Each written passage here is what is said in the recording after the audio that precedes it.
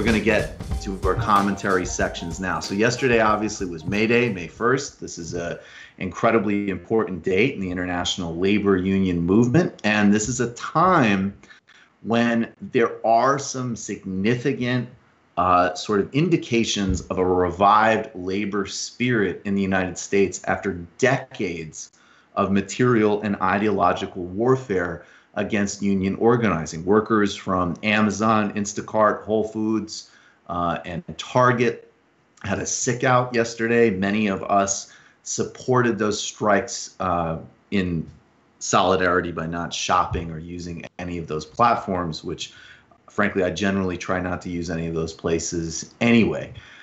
Now, at this point, the power of labor is obviously still very limited. We're talking about about 10% of the workforce, and disproportionately what remains is in the public sector and not in the private sector. And right now, the incredible importance of the organizing and the courage of a guy like Chris Smalls, who was, of course, fired by Amazon. They claim he was violating social distancing rules, even as he was the one on the shop floor at Amazon demanding that Amazon take basic precautions to protect the health of its workers, which of course Amazon blew off. Now, right now, labor is still uh, been so decimated that the best that these efforts can hope for is a sort of PR wins against these predatory companies uh, shaming them in public, exposing their hyper exploitative behavior, the fact that none of these places are giving their workers hazard pay, that they're not properly protecting them with hand sanitizers and masks. Um, and those PR battles matter. But ultimately, we recognize the very basic lesson again and again and again, which is that the only way to restrain capitalist behavior is through countervailing liberal power, uh, labor power, not liberal power, labor power. This is absolutely the case historically, and it's definitely the case in the kind of hyper monopolized capital that we're in today. And monopoly capital was predicted by, among others, Lenin, who saw the natural trajectory of markets to concentrate wealth in fewer and fewer hands and power in fewer and fewer uh, companies and sectors. In the tech economy, this is an extraordinary new level that opens up um, basically unmediated control of people's not only work, but home and social lives through technology and through frictionless delivery systems. So it's essential that workers organize now and that we recognize that really the only fundamental hope of any type of left politics, whether we're talking about the bare minimum of human decency and reforms that were so incredibly pioneered and publicly articulated by Bernie Sanders, and even more ambitious goals of genuinely democratizing the economy of understanding that technical innovation is the product of social innovation and that corporations benefit from those social innovations but are not the cause of them. The only way to do that is labor. Now, the barriers are incredibly strong. The barriers, though, are shifting. As Dustin Guastella just pointed out, Guastella just pointed out to me that in no doubt the political and economic barriers are still incredibly strong, going back to, in the latest iteration, the war on labor that really started in the 70s and accelerated in the 80s and have been carried on ever since. We've had Republican administrations viciously attack labor. We've had Democratic administrations do next to nothing for labor, and of course, also tr- support trade deals that undermine labor as well. However, as he pointed out to me in a recent conversation on TMBS, the ideological ground is shifting. A lot more people understand that labor is the only thing that will protect them from predatory companies and is the only way to exercise any type of power over wages, protection, and time. And it's also important for all of us on the left to recognize that even as there are numerous movements that play important roles on a variety of issues that the only structural countervailing force is labor itself. and the motivations that come, on one hand, from a clear and deep self interest, and then on the other, the extraordinary solidarity and interdependence that is generated by workers coordinating in that fashion. I want to play a clip now from Lula da Silva, who, as many people know, is a great hero of mine and really an incredible historical figure both for Brazil and the world. Here he is presenting, uh, talking about May Day yesterday from uh, his quarantine, as we all live in this bizarre world together, talking about the significance of May Day and the coronavirus and what it exposes about the nature of capitalism itself. Great tragedies can reveal the true character of people and things. I'm not just talking about the disrespect that the Brazilian president has meted out against the over 5,000 Brazilians who died from coronavirus. The pandemic has also left capitalism naked. It took 300,000 corpses for humanity to see the truth, something we workers have known since the day we were born. The tragedy of the novel coronavirus has exposed an unquestionable fact that is not a capital that sustains capitalism. It is us, the workers.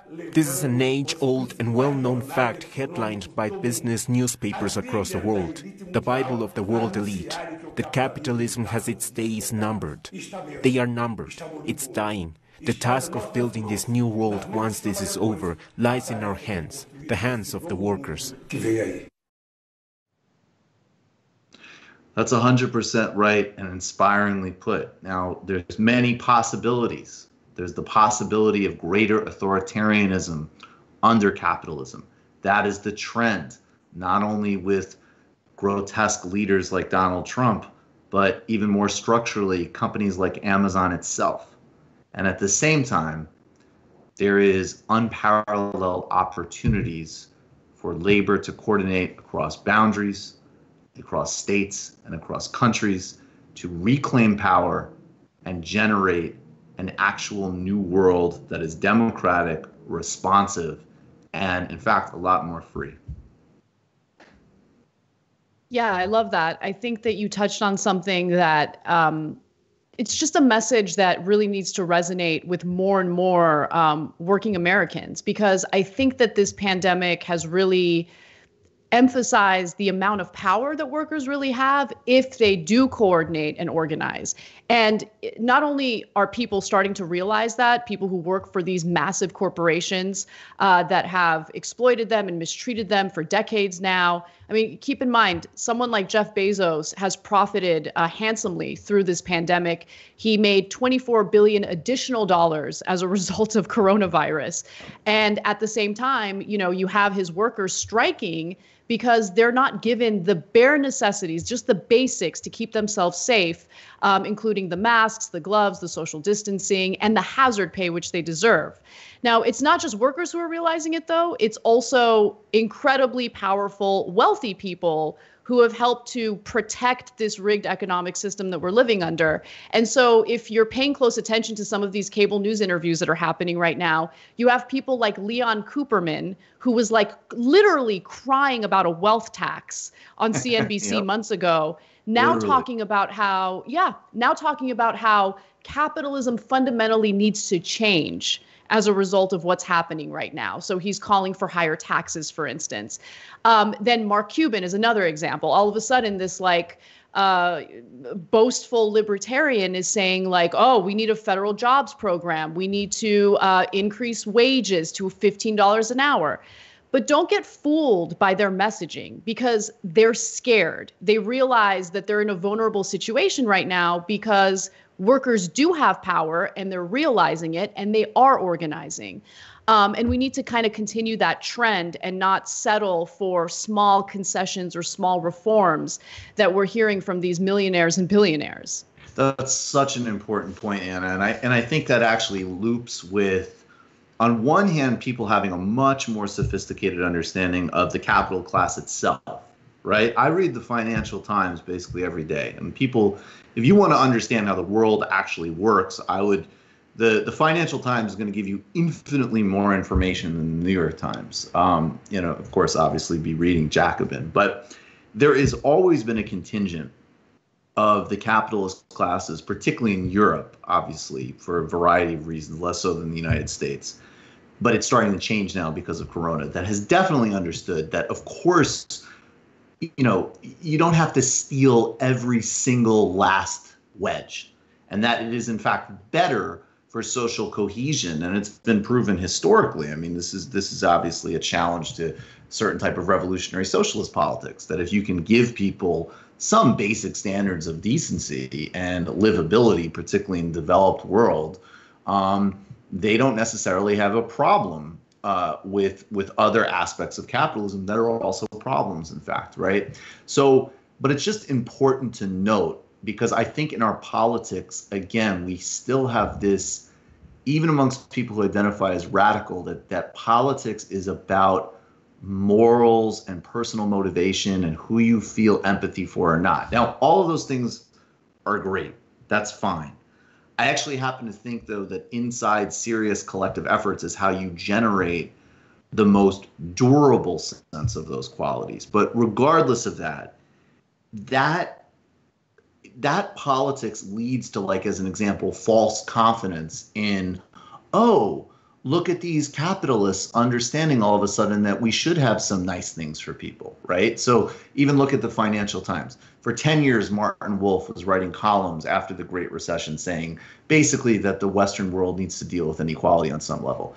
Then when Jeremy Corbyn comes along, he, along with the rest of the Financial Times and all the UK press, set about destroying him and any hope of actually enacting an actual agenda. And this is, I think, going to overlap uh, with your awesome commentary that's about to happen.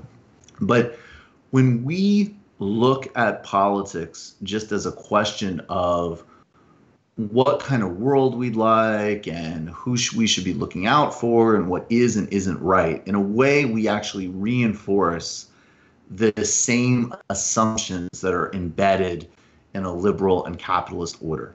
And when we reframe it as power needs to actually be really fundamentally restructured so that it works for the many, not the few, then the engine clearly goes through mass labor and not either the social conscience of plutocrats or the sort of like liberal sympathies of professional class people it is a fundamental reframe in how you do politics. And this is another reason why, you know, Marx is important to read. Definitely. And, you know, just a, a, a recent example of someone who was applauded as a, as a capitalist who was doing right by his workers and then now it turns out that's not the case you know the ceo of uh, costco Costco has had I don't even know how many news stories written about it, how many profiles written about how it it pays its workers fairly and it's you know incredibly competitive wages, great benefits, you know all of this positive press to kind of do the pro you know capitalism marketing that we've been used to for so long. And then yesterday, a uh, story broke about how they've really loosened the social distancing um, guidelines within these stores. So workers are concerned. You know, they're also thinking about striking or doing something about this because they don't feel safe. Uh, they don't feel like the management is really looking out for their best interests. So you're right. I, I think that it always comes from the workers organizing and demanding more because they do have the power. They're the ones who make these companies run. They're the ones who produce these products. They're the ones who make things happen. And I really appreciated a conversation that you had on your show recently on TMBS with uh, Yolian um, Ogbu. I hope I'm saying her name correctly. But she was talking about how her mom. Named with. well, she's the one who was uh, talking about how her mother, who's like a healthcare yes. worker, um, you know, was kind of sick of how healthcare workers had been treated at this particular clinic. And so she just decided, I'm not going to show up to work. Other healthcare workers at this place decided not to show up. And they made management bend to their will because they had the power. It got to the point they demanded hazard pay, which hazard pay should be like non-negotiable. It should be there when you're, uh, you know, on the front lines during this pandemic. Uh, but she's like, no, I'm not going to show up until I get that hazard pay. And finally, management uh, conceded to what the workers wanted. So that power is there. We just need to organize and, and exercise it. And that's where um, the only and the only place where the power really is outside of the capitalist pla- class is people's labor, and that is the core strategic insight.